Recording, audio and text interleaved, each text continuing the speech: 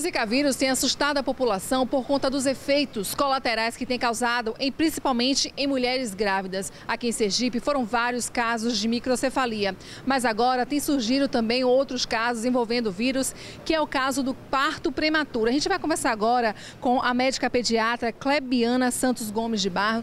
Doutora, quer dizer que os casos agora estão ampliando até para as mulheres que estão grávidas e está tendo parto prematuro? É, nós temos relatos de algumas mulheres que tiveram virose no início da gestação e que vem evoluindo com o trabalho de parto prematuro, com bebês mal formados, que a gente ainda não tem como fechar que foram realmente para a zika, mas elas relatam uma virose com febre baixa, com algumas manchas no corpo, algum exantema, que bate bem com a zika, mas que a gente tem que investigar.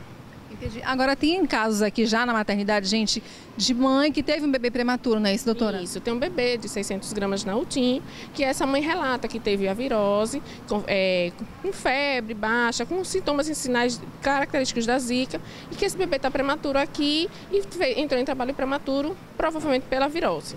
Também tiveram casos de abortos? Abortos. A gente teve, teve algumas mães, não, acho que ao certo duas ou três, que tiveram trabalho de parto prematuro, abortamento na realidade, com bebês mal formados e que elas também relatam ter tido a virose, mas a gente não tem ainda como fechar o diagnóstico, a gente depende de exames laboratoriais, de sorologias, para que a gente possa fechar esse diagnóstico. Certo. Agora, como na microcefalia houveram estudos também, né, para comprovar que tinha o Zika, o Zika vírus tinha é, relação com esses, com esses casos de microcefalia e no caso dos abortos também? Então, a gente está solicitando as sorologias dessas mães, está fazendo teste rápido, a gente está mandando para o LACEN, mas a gente está aguardando resposta na realidade.